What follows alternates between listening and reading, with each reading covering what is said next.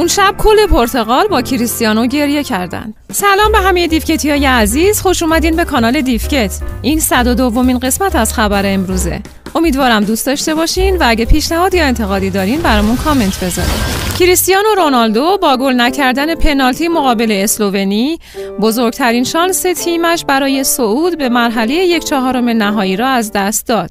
در بازی پرتغال و اسلوونی بازی با همان نتیجه بدون گل در حال اتمام بود. تا اینکه دیگو ژوتا رونالدو را در موقعیتی عالی و در مقابل دروازه صاحب توپ کرد.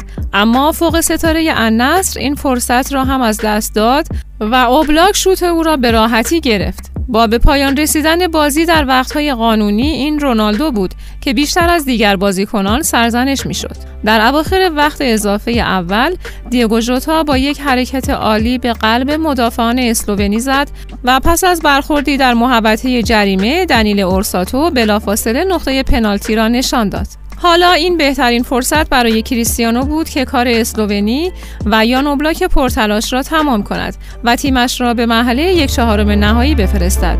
اما در شبی که مادرش هم روی سکوها نظارگر شب تلخ او بود دنیا روی سرش خراب شد. رونالدو پشت توپ قرار گرفت اما ضربهش به سمت راست دروازه را اوبلاک به کمک تیر عمودی دروازه به زیبایی دفع کرد تا بهترین شانس برای درخشش رونالدو به بدترین شکل از دست برود. با اینکه این پایان ماجرا نبود و پرتغال در وقت اضافه دوم فرصت داشت به پیروزی برسد، اما دوربین ها تصاویر بسیار قابل توجهی را شکار کردند.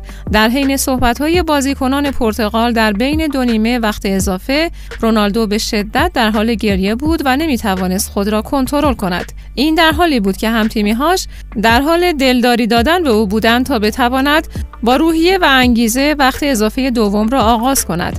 در همین حین دوربین ها مادر رونالدو را هم نشان دادند که در سکوها با ناراحتی و بغض در حال تماشای یکی از ناراحت کننده ترین لحظات دوران فوتبال پسرش است. اما در نهایت بازی به پنالتی ها کشید و سپس با درخشش دروازه‌بان تیم ملی پرتغال یعنی کاستا با گرفتن سه ضربه پنالتی به مرحله بعدی صعود کردند.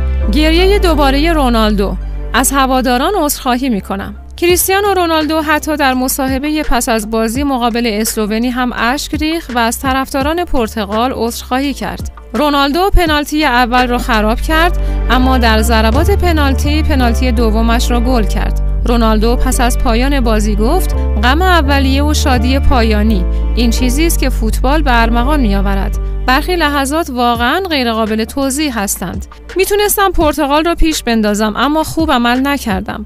اوبلاک ضربه را مهار کرد. من یک بار هم در طول سال پنالتی از دست ندادم.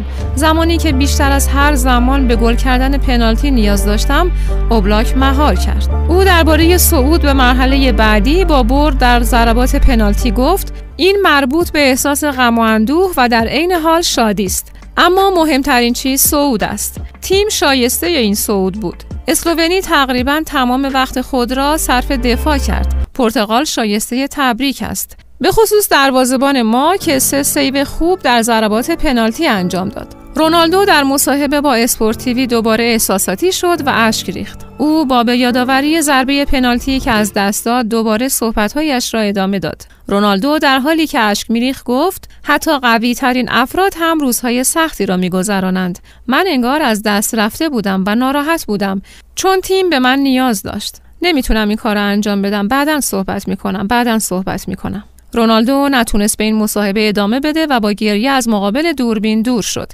پس از دقایقی خبرنگار آرتی‌پی موفق شد با رونالدو صحبت کند. او در این گفتگو درباره بازی بعدی مقابل فرانسه گفت ما یک بازی سخت مقابل فرانسه خواهیم داشت و پا به یک جنگ می‌گذاریم. من همیشه با پوشیدن این پیراهن بهترین تلاشم را خواهم کرد.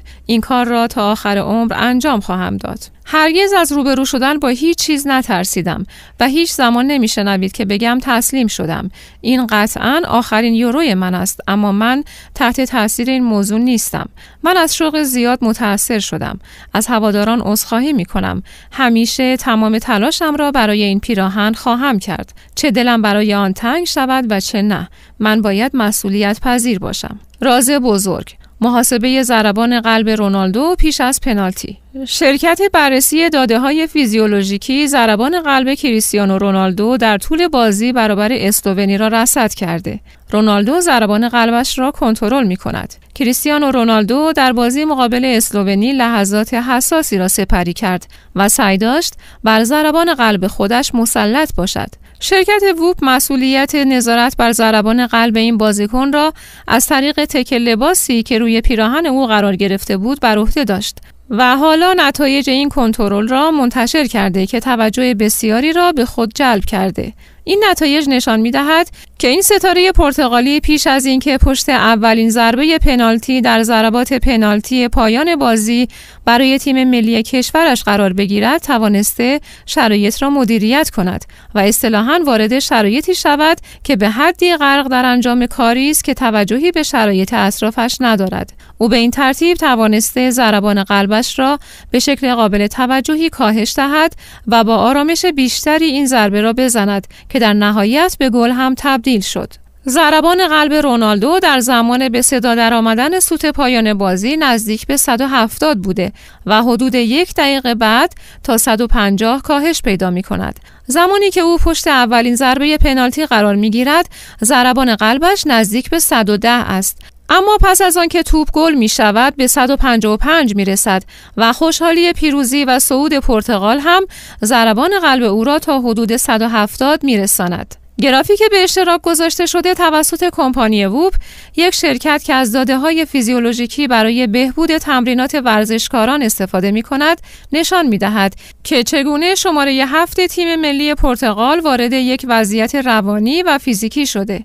ضربان قلب رونالدو از طریق جی پی اسی اندازه گیری شده که معمولا فوتبالیست ها زیر لباس اصلی به تن می کنند در زمانی که او اولین پنالتی پرتغال را به ثمر رساند ضربان قلب او کمتر از 110 ضربه در دقیقه بود. پس از اینکه پنالتی او به گل تبدیل شد، ضربان قلب این فوق ستاره به 155 ضربه در دقیقه بازگشت. پیام ویژه رونالدو سه راز موفقیت کریستیانو رونالدو پس از اینکه پرتغال در ضربات پنالتی یورو بر اسلوونی غلبه کرد پیام همیشگی خود با عنوان واقعیت را تکرار کرد ستاره سابق رئال مادرید تصویری از سه جنبه واقعیت اثر فیلستوس درمانگر مشهور منتشر کرده این سه جنبه عبارتند از درد، عدم قطعیت و تلاش مداوم. رونالدو در سالهای اخیر بارها این پیام را در اینستاگرام به اشتراک گذاشته.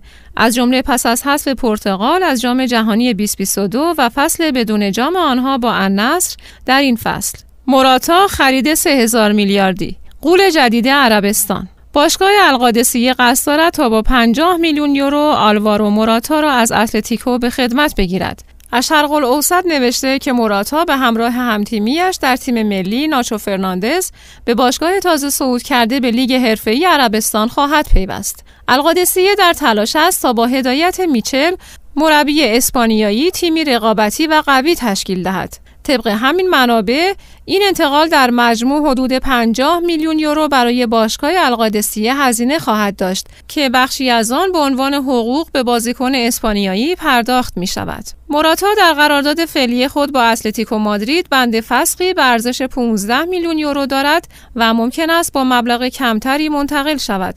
مذاکرات بین طرفین در حال انجام است و بازیکن به باشگاه سعودی چراغ سبز نشان داده.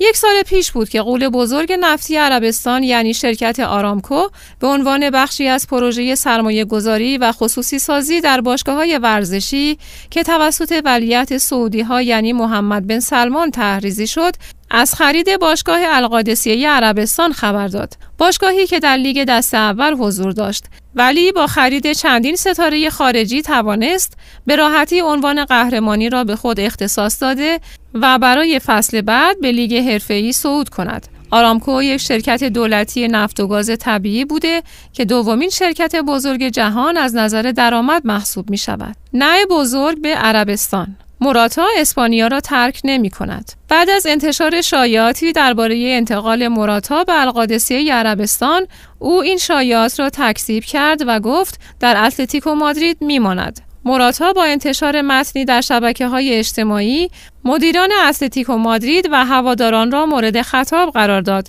او که در حال حاضر در کمپ تیم ملی اسپانیا در آلمان به سر می‌برد اعلام کرد نمی‌توانم تصور کنم که قهرمانی با این پیراهن چقدر لذت بخش خواهد بود و می‌خواهم تا زمانی که به این هدف می‌رسم ادامه دهم. با تایید روزنامه مارکا به جذب آلوارو موراتا هم نزدیک شده بود. اما موراتا بعد از بررسی شرایط و گزینه ها و مذاکره با مدیران اتلتیکو مادرید در نهایت تصمیم گرفت بماند. مارکا می‌گوید موراتا در ابتدا بدش نمی اومد به پیشنهاد القادسیه پاسخ مثبت بدهد ولی در نهایت تصمیم گرفت ماندگار شدن در اتلتیکو را ترجیح دهد. او با این باشگاه تا سال 2027 قرارداد دارد. ستاره اسپانیا در یورو.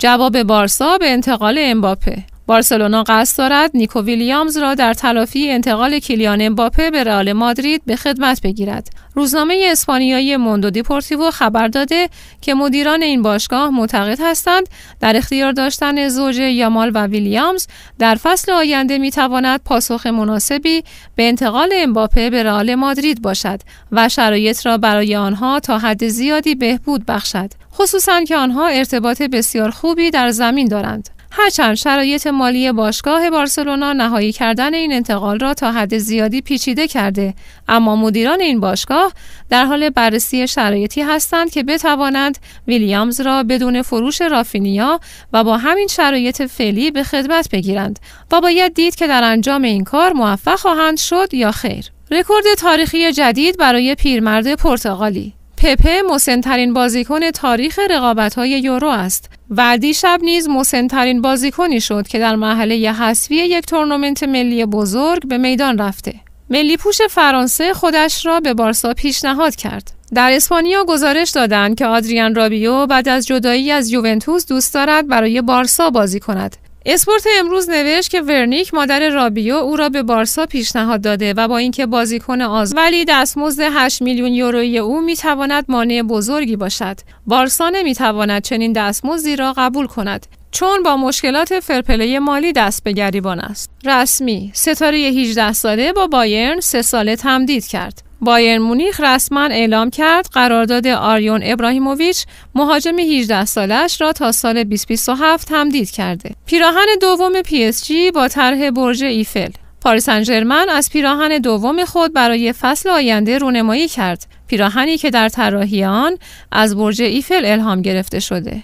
بهترین سیو تاریخ یک کشور مرت گونوک دروازهبان ترکیه در آخرین لحظات بازی مقابل اتریش دروازه تیمش را نجات داد و برتری ترکیه را حفظ کرد و در نهایت ترکیه دو بر یک اتریش را شکست داد و به مرحله بعدی صعود کرد. تیم ملی برزیل در سومین دیدار از مرحله گروهی با نتیجه یک بر یک برابر تیم ملی کلمبیا متوقف شد. بدترین خبر برای برزیل محرومیت وینی در کوپا وینیسیوس جونیور نمی‌تواند تیم ملی کشورش را به دلیل کارت زردی که دریافت کرده در دیدار برابر تیم ملی اوروگوئه همراهی کند. تصمیم عجیب سیتی موافقت با جدایی ستاره برزیلی مدیران منچستر سیتی مخالفتی با جدایی ادرسون از این باشگاه ندارند. فابریسیو رومانو خبرنگار سرشناس ایتالیایی حالا مدعی شده که چند باشگاه بزرگ عربستانی نام ادرسون را در فهرست خریدشان برای پنجره نقل و انتقالات تابستانی پیش رو قرار دادند و در صورتی که این بازیکن شخصا مایل به ترک سیتی باشد مدیران این باشگاه هیچ مخالفتی با جدایی او نخواهند کرد. قرارداد استفان اورتگا به تازگی تمدید شده و این یکی از دلایل مدیران سیتی برای قبول جدایی ادرسون است. تحقیقات یوفا به خاطر شادی گل جنجالی دمیرال شادی گل دمیرال برابر اتریش به یکی از نمادهای سازمانی ملیگرایان افراطی ترکیه اشاره داشت که می تواند برای او محرومیت به همراه داشته باشد. نوع شادی گل دمیرال حرکتی نمادین مربوط به گرگهای خاکستری ترکیه است. یک گروه ملیگرای افراطی که در آلمان تحت نظارت اداره فدرال است و در برخی کشورها سازمان تروریستی نیز شناخته شده به همین دلیل یوفا تحقیقاتی را آغاز کرده. اگرچه برخی در ترکیه معتقدند که این ژست صرفا نشان دهنده غرور ملی ترک هاست اما به نوعی مربوط به حامیان جنبش راست افراطی تحت نظارت اداره فدرال آلمان است و احتمالاً باعث ایجاد مشکل برای دمیرال خواهد شد. یوفا همیشه نسبت به این نوع جشنها با معلفه های سیاسی بسیار هشدار داده. ممنون که تا پایان ویدیو با ما همراه بودید.